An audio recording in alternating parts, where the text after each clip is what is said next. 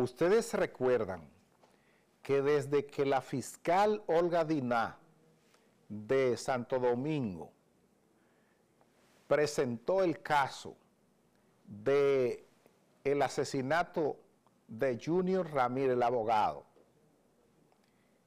desde que ella dijo que fueron los subalternos de Manuel Rivas los que planificaron y decidieron asesinar a Junior, yo le dije, el gobierno decidió sacar a Manuel Rivas de ahí. Ayer habló, ya de eso hace meses, que yo les dije eso, ayer habló Ramón Rivas, que es hermano, él es abogado y es hermano, Ramón, digo Ramón Ramón Ramírez, hermano de Junior, habló y miren lo que él dice. No, es que se entregará, es que eh, para mí ellos tienen un acuerdo ya eh, para esculpar arriba, imponer, solicitarle una pena más mínima a Argeni e imputar a dos o tres como autores materiales. ¿Qué le hace a usted pensar? cuando se refiere de Porque, óyeme bien, ya entró Balcácer, al, al no tiene un peso para poner a, abarcarse ni abogado de su tío ni abogado de su mujer. Quien contrató a abarcarse fue Riva y gente de poder por encima de Riva. Eso está claro. Entonces el acuerdo es entre Rivas, eh, Rivas y Argenis. Sí, eh, deducimos eso porque Barcarce le entra diciendo que dentro de las declaraciones que le dio al Geni fue que el móvil del crimen no fue porque Junior tenía una querella en contra de Riva. Y empieza diciendo que los policías le robaron 3 millones a Junior, pero ¿cómo te roba una persona 3 millones si tú no lo tienes? Entonces a Junior le fueron a ofrecer ese dinero un día antes de la audiencia, él no lo aceptó y decidieron matarlo. Eso lo entiende hasta más el idiota de la persona. Lo que dice Balcácer, de que al Geni oyó y dije que él fue a vigilar. No, Algeni era parte, de él, él fue el plan, él fue el que planificó la muerte de Junior conjuntamente con Riva y otras personas. Algeni estaba ahí en la escena del crimen, incluso el mismo abogado imputó a su cliente cuando dice que el que supuestamente le dio el tiro a Junior le llevó al Geni un maco celular que tenía Junior y la llave del atajó y le dijo al Geni, desate de esa jipeta. Entonces, más, más, más claro de ahí no se ve. Pero desde un principio se vio el interés del gobierno de sacar a Manuel Rivas de ahí. ¿Por qué? Manuel Rivas fue uno de los hombres claves de la campaña de Danilo Medina. Manuel Rivas era el jefe del, del PLD en la provincia de Santo Domingo y de ahí todo lo que salió ¿Por qué ustedes creen que la auditoría de la ONSA la tiene congelada los delincuentes de, de la Cámara de Cuentas? ¿Por qué la tienen congelada? Pregúntense eso.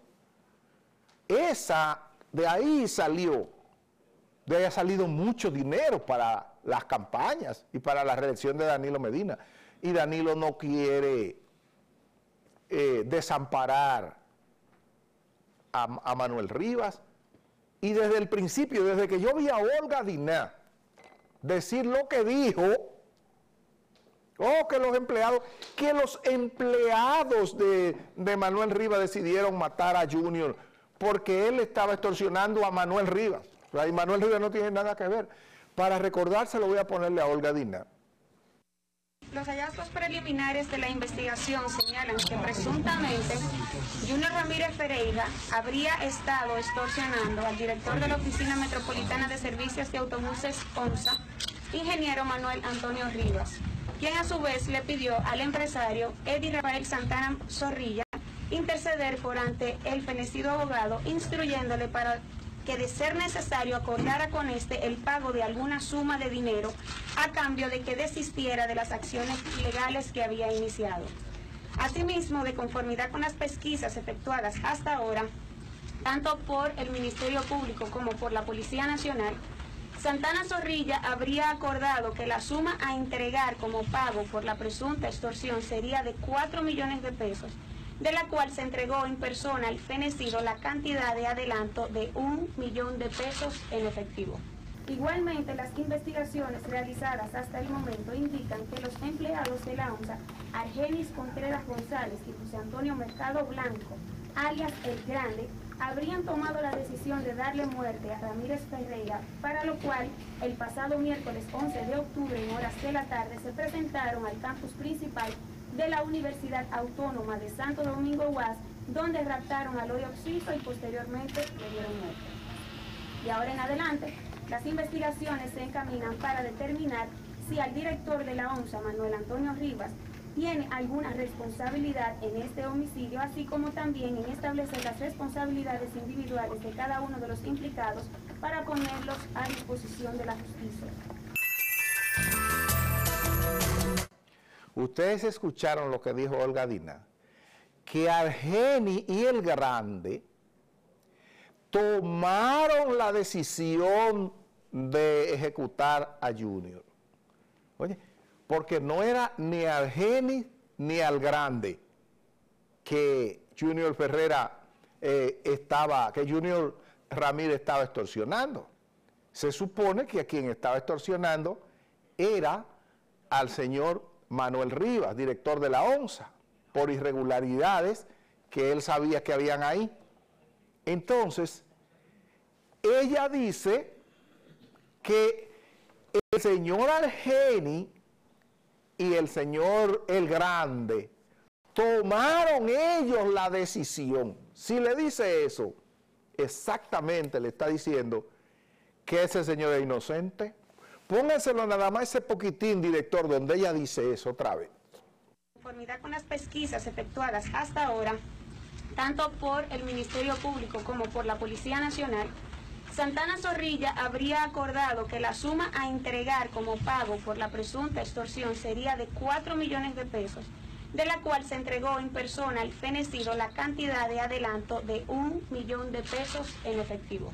Igualmente, las investigaciones realizadas hasta el momento indican que los empleados de la ONSA, Argenis Contreras González y José Antonio Mercado Blanco, alias El Grande, habrían tomado la decisión de darle muerte a Ramírez Ferreira, para lo cual el pasado miércoles 11 de octubre en horas de la tarde se presentaron al campus principal de la Universidad Autónoma de Santo Domingo.